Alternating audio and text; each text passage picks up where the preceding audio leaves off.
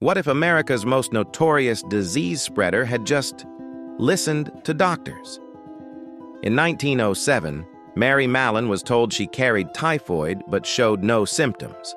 Instead of denying it, imagine she simply said, okay, and stopped cooking. No more working in wealthy New York households.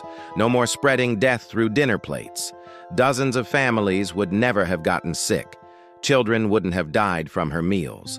The wealthy households she infected could have lived normal lives instead of watching their kids waste away from fever. Her cooperation would have created the first real protocols for healthy carriers decades before we understood how diseases spread.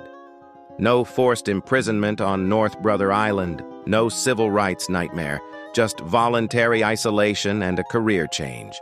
She wouldn't have become the face of public health tyranny. But here's the twist.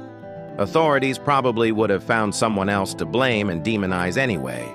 One woman accepting science could have saved dozens of lives and changed how we handle invisible threats forever. Sometimes listening to experts is literally life or death.